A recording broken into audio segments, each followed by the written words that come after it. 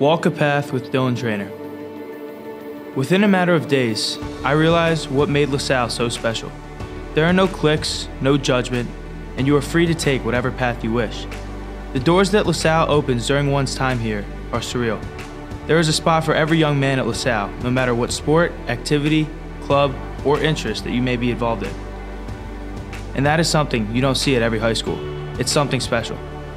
This institution has provided me with the tools that will carry me through the rest of my scholastic career and beyond.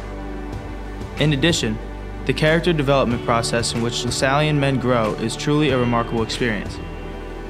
We make mistakes, accept responsibility for our actions, and move forward, regardless of the outcome.